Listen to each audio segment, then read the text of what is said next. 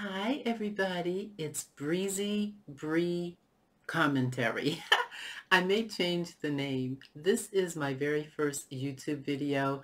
In fact, this is the second take I've done of this. I'm just trying some things, hoping that it works out. I have been excited about doing this for you all. I will be doing, or actually I will be commenting on the Real Housewives franchises. I have been watching them for years, since 2007. And tonight I'm going to be doing the Real Housewives of Orange County. So let's go, let's get into it. Um, so, in their last episode, I, and I'm going to be looking down because, just because I had to write down a lot of the information and I'm going to be looking down a lot. And so, it starts out that um, well, Jim Bellino and Tamra are involved in a major lawsuit. And it has occurred because in an episode some years ago, Tamra made a comment about Jim Bellino. Jim Bellino is the husband to Alexis, who used to be on The Real Housewives of Orange County. She's no longer on there, even though they showed her this year meeting with Emily. She and Emily are friends. So Jim and Tamra are in this lawsuit, and it's it's not a good lawsuit. It's a million. It's millions of dollars, and and Tamra is losing. It sounds like she made some comments about him some years ago, and he's suing her for it, and it looks like he's winning. And I think Shannon is somehow involved in it, but has recently been removed from the lawsuit. I'm not sure. So that's what's going on there. So we, Tamra, you know, in her opening, she talks about faith, family, and fitness. Those are the three F's for her, faith, family, and fitness. And I, I think that, um, I know that this is a show where it requires a lot of, you know, going back and forth between the women. But when you talk about faith being part of your character, she probably needs to work on that to some degree. So it starts out with Kelly and Braunwyn. They are out to lunch. And Braunwyn has met up with Kelly to invite her to a Miami trip that she has planned for the girls. Kelly, in her boisterous tone, tells her she doesn't want to go because she doesn't want to have to deal with Vicki and Tamra. And so Braunwyn tells Kelly look, you don't have to deal with them. Just stay away from them. You know, just don't have any contact with them. And Kelly says she's tried to have, uh, tried to stay away from them, but it hasn't been successful for her. When the reality is, I think we all know she hasn't really tried to stay away from them. If she did that, then she couldn't be on the show. They would ice her out and she wouldn't be on the show. So I think that, um, and the thing she's upset about you know, if it doesn't apply to you, why are you so upset about it? You know, I, I just, I don't get that. She's really upset about every little thing too. And again, forgive me for looking down, but I don't have my glasses on. In the last, in the last video that I pre-taped, I put on my glasses and they were causing all kinds of glares. So I don't have them on, so I'm having to look down and see what my next step is and, and talk to you about it. Um, so let's see here. Oh, I wanted to mention Braunwyn showed up. She had no makeup on, and she looked really good without makeup. She she did, really doesn't need it at all. Um, I love Kelly's attire. She had on this black and white with her shoulders showing. She Kelly has really good taste in clothes. I like her fashion. So she tells Kelly, she she tells Braunwyn she doesn't want to go. At the end, Bron Braunwyn does talk her into going. So as it ends up, Kelly will be on the Miami trip. Next, it goes over to Kel to uh, Tamra and Gina. They are in a clothing store. They're shopping. And they start out talking about Kelly. And Tamra tells Gina that she has not talked to Kelly in three weeks. And I guess that's a long time for the two of them. She hasn't talked to her in three weeks. And so she also tells, oh God, what's her name? I'm so sorry. What's her name? Gina. she tells Gina she doesn't know why Kelly um, suddenly flipped out. She said that Kelly was impulsive and that she doesn't think and that um, she's just really impulsive and she didn't understand why she flipped out. Well, I know why she flipped out. That's just Kelly's personality. That's what she does. She flips out about everything. And so I don't know why Tamara was so surprised. It really does not take much for Kelly to flip out. Kelly has some anger issues, and even her daughter has noticed them. I guess her daughter watches the show and she sees how she treats her friends, and she asks her mom, why is she always angry at Tamra, or angry, period. And so I, I think that Kelly, Kelly doesn't know herself. Kelly needs to really take a really good look in the mirror so that she can ask herself, why does she flip out? Why is she doing these things? Because she needs to make some changes. And in one of the episodes, as you recall, she hit Shannon over the head with something. And I know it was a very light hit. Grown women don't do that. We, uh, we don't put our hands on each other like that, hitting each other. And that is just something is she needs to really get some things under control there um, because it's not adding up in terms of her being an adult, being a mother, and, you know, it just is not adding up. So um, next uh, we have Shannon. Shannon and David are finally divorced. And let's see. Uh, David has sent Shannon an email, or Andy also told her in court that he is proud of her. And that was something that she longed to hear when they were married. Um, these people, when they're married this many years and they long to hear this one phrase from their husband and finally he divorces them and they hear it, I guess because I don't know what that feels like, there's more going on than you just wanted to hear him say that he's proud of you. There, there had to be a lot more going on there. And of course, he's proud of you now. He wants you to move on, Shannon. He wants to move on. He wants you to move on. He has him a chick. Um, the men always get the chick. I don't know why it ends up that way. It takes women longer most of the time to find a significant other after a divorce. The men always have someone on the side. And women are so trifling that they're open up to it. So whatever. um, so she she longed to hear that. They show some clips between her and David uh, when he proposed to her when they had their wedding again they got remarried hoping that would make it work listen if your current marriage is not working remarrying them is not going to make it better having that ceremony again is not going to make it better everyone i know and i know people in real life who have had to get remarried and they get divorced less than a year later after the remarriage so if you're married and you're just getting married over and over again each year, you only need one marriage. You don't need that many marriages. I digress. so, so next we have they're showing Vicki's place. So the ladies have been invited to Vicki's house for an engagement announcement. They don't know this yet, but Vicki is going to surprise them with this beautiful ring that Steve has bought her. So they start to come into her house. Emily is the first one to arrive. Emily looks amazing. She looks so beautiful. I just think she's so gorgeous and I love her hair and she's lost weight. You can tell she's lost the weight. So she's arrived. Then Gina comes in um, and then Tamra. And forgive me, you guys, my eyes are watering. I don't know why my eyes are watering. Um, I got a new set of glasses and I took them off. I, I don't know. I think they're causing me all kinds of issues, actually. I digress again.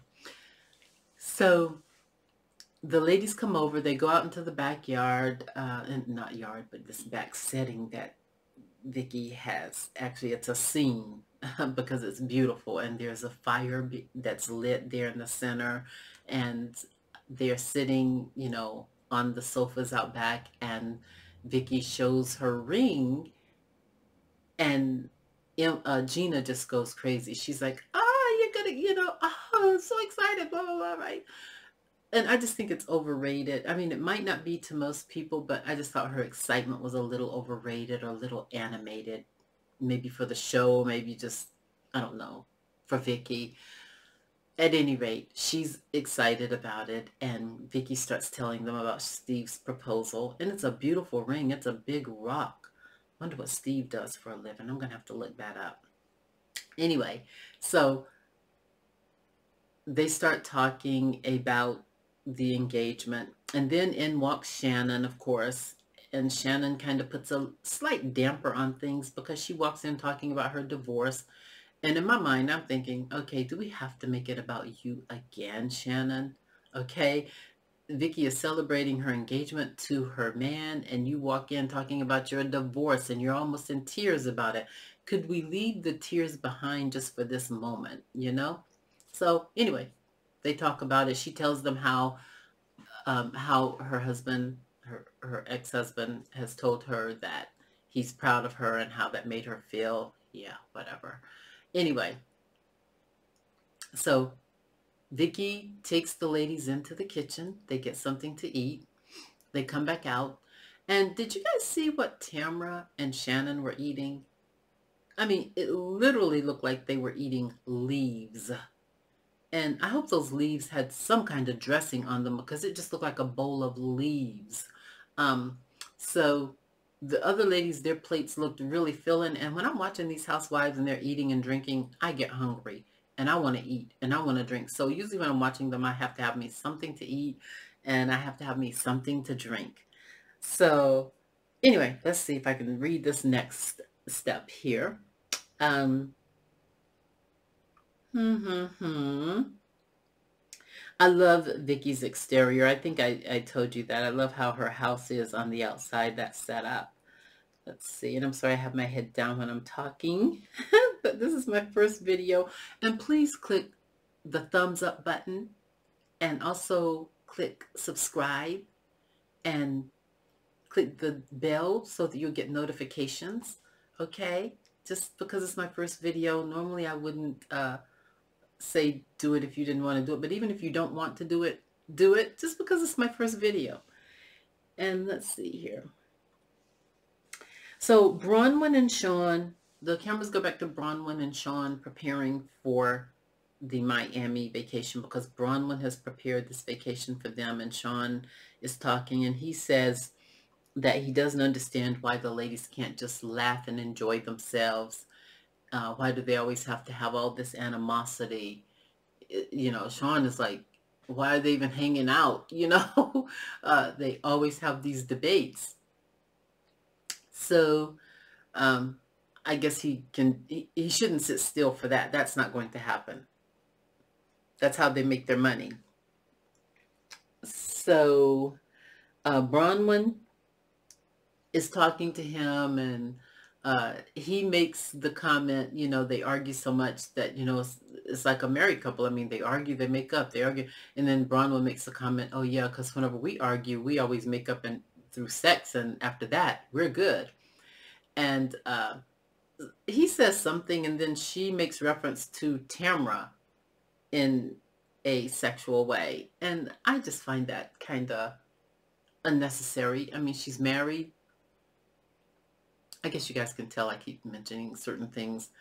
I think it's okay to have high moral standards. But anyway, I digress. She is married to her husband and to even think about bringing someone else in the mix is too messy. It's too messy and I just don't know why why she's bringing that up and why she's so interested in Tamra that way. Is anyway.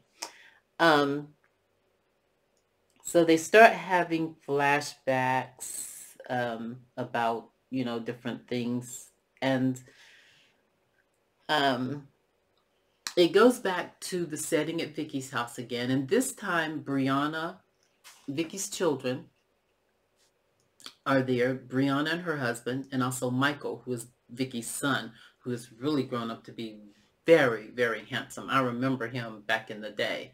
Okay, so he is really good looking and he looks like a businessman now. Uh, he just looks so different. So they're there and Briana looks good as well. And she lives in my state, North Carolina. I can't, you know, she lives in North Carolina. So North Carolina is working wonders for her because she's lost weight. She looks really great as well.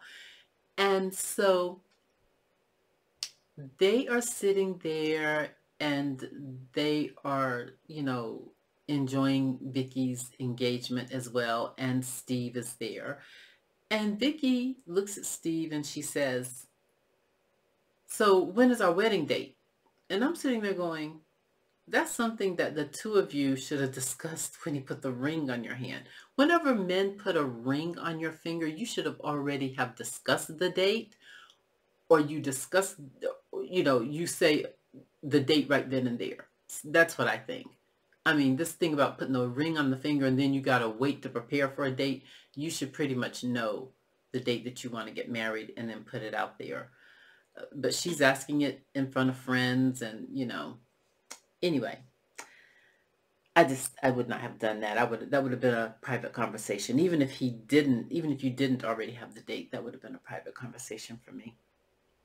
So uh, Vicki leaves. Vicki and Steve, they get up and they go back into the house and Tamra and Briana are left outside and they are communicating about Vicki's progress um, in her relationship with Steve and just how they're so happy, you know, that she's no longer with Bruce. And I guess you guys remember Bruce.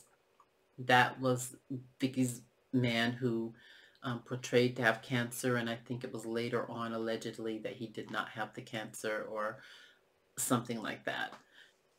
At any rate, Briana says she doesn't think that Vicki ever really loved Bruce and that it was all physical.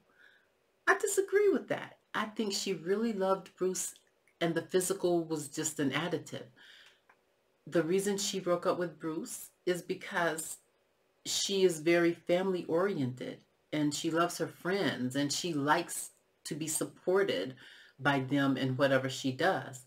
And I think she tried to prolong that relationship, hoping that everyone would turn over a new leaf and accept Bruce. And when she saw it wasn't happening, she had to get out. Um, especially when it came to her kids. It just wasn't happening. So I disagree with Briana on that. Next, we have Oh, Braunwyn and Sean have arrived in Miami and they are making arrangements to get everything situated for the ladies to arrive. So the conversation, then it goes back to the conversation. It goes back to Shannon's house. Forgive me again for looking down. Uh, it is my first video and you are probably going to be tired of me saying that, but I keep looking down I'll be a little more organized in my second video because now I know what it's going to take. So Shannon, it goes back to Shannon and her daughters, and they have a conversation that is really quite uncomfortable for me because Shannon is talking to them about the trip to Miami. They're saying to her, uh, and she's saying to them, you know, I'm going to go to a club, you know, and all of these things. And her daughters say to her, while you're there, get something to go between your legs. Now, I'm just like, what daughter says that to the mother? That was so unnecessary, I thought. I mean, I just thought that was disrespectful. Those are not conversations you have with your mother. So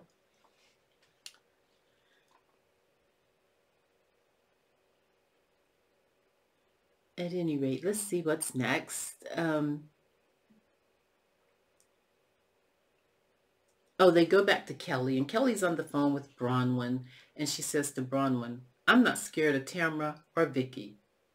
Look, Kelly, we know you're not scared of Tamra or Vicki, okay? We know you ain't scared, okay? We get that.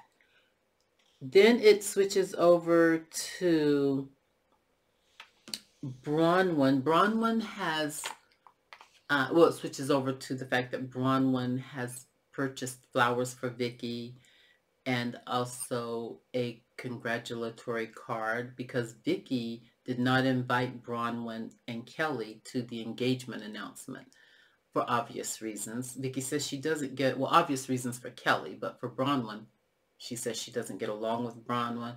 She says she doesn't have anything in common with Braunwyn. Um, doesn't know her that well. So Braunwyn I guess she wanted to take the high road because she knew she wasn't invited. So what she did was she sent Vicki flowers. Now that's class. That's class. Okay?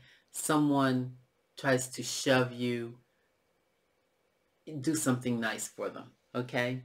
So I liked that. I liked that part about Braunwyn. And also, it switches over to Tamra and Gina because everyone has arrived somewhere. Um, let me see here. No, okay, before that, let me share this with you. Braunwyn and her husband have rented two Maseratis for the ladies to be escorted from the airport to the hotel. I mean, that's class. That's money right there. I wonder what I wonder what Sean does for a living.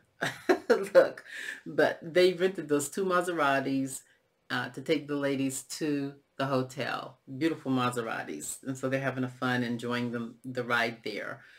And so when they get to the hotel, it switches over to Tamra and Gina out on the balcony. And Tamra says, listen, I don't stand near the banisters because don't want to be pushed over. And that's kind of true. I'm, I'm with Tamra on that. I will stand on the balcony, but I'm not going to go near the banister. I'm not going to lean on the banister. I'm not going to be playing on the banister and all of those things that people try to do to show that they are willing to take a high risk. That's a risk I'm not going to take. Uh, because a banister, anything could happen. An accident, you could trip over something, uh, might step on a bug and jump and fall over. You know, anything could happen. So I'm with Tamara on that. So let's see. Vicki goes to Braunwyn's room to thank her for the flowers and for congratulating her on the engagement.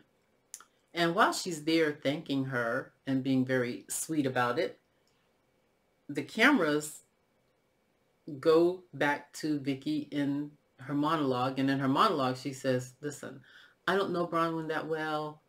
Um, we don't have anything in common. Uh, but if you want to get me presents, hey, I'll take them. And I just kind of thought that was a little bit low down, just slightly, you know.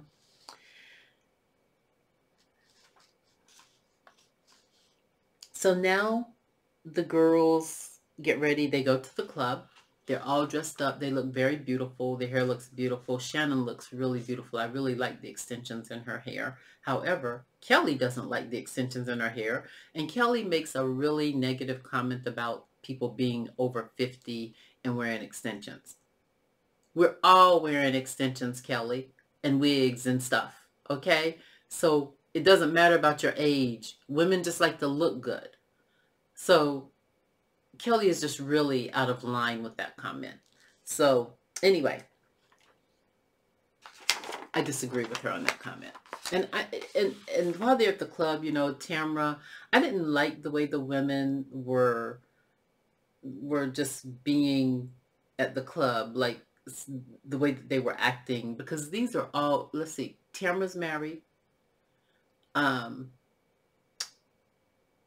Shannon may not be married, but you know, she's been married and she has daughters. Vicki's getting ready to get married. Braunwyn's married.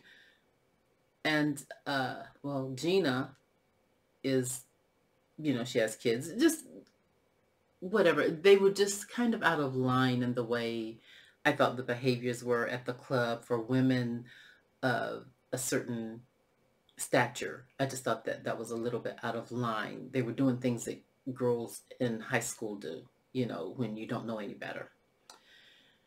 So let's see what else. Oh, after they left the club, Kelly, she had made a couple of comments about people being over 50 wearing extensions. And finally, when they got back to the hotel, she says it out loud to Shannon. You know, you shouldn't be wearing extensions because you're over 50, you're 55, blah, blah, blah. And Shannon should have really just taken it lightly and ignored it or just said, you know, whatever, you know, or said something, you know, more shady back to her. I would have said something more shady. However, Shannon got upset and just almost was in tears and says, just stop it. Just stop it right now. I'm, I'm like, really, why would you let Kelly bother you? Kelly is someone who has issues for real. And I know a lot of people love her, I just, I think she has issues. The first season, I kind of liked her a little bit. Um, but I don't like whenever people, women put their hands on other women, even men. I don't like when people are putting their hands on each, on other people, period. I digress. Anyway, the next day, Sean leaves and uh, he says, uh you know, he and his wife, they kiss goodbye. And she, and Braunwyn says that goodbyes are hard for her. Uh, she's okay when he leaves, but goodbyes are hard for her, which I understand that because I know growing up as a little girl, whenever my cousins would come to visit from overseas or from Rhode Island, we always loved that, right? And then whenever they left, we would be in tears. We were like, oh no, we really love you guys. So I am going to leave it at that.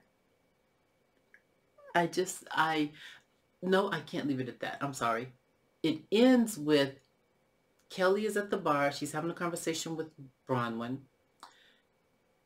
Then Tamra and Shannon walk out and they overhear the conversation and they get involved. So there's a little spiff between Kelly and Tamra and, Ta- and Kelly says to Tamra, when you lie, you get sued. And oh boy, that got under Tamra's skin real bad real bad because this is a serious lawsuit and Kelly really is playing with fire. She really, that's not how you do people. You don't get that deeply into people's lives just because they said you pushed your mom down the stairs. Okay, the rumor has it, allegedly, that that's true, that she, that did happen. That was out before this episode came out. So I don't know why she's getting upset about things that Tamara really didn't even start. And then she goes and pries into Tamara's business, trying to make this lawsuit harder and more difficult for her. Kelly, you are out of line. So completely out of line. And with you putting your hands on everybody the way that you do, it's very easy to believe that you would have done something to your mother. I mean, it's easy for me to believe it, you know, but allegedly that did not happen. So that's how it ends. And uh, so see you next week. Remember to like, meaning give me a thumbs up, hit the subscribe, and hit the notifications button. See ya. Bye.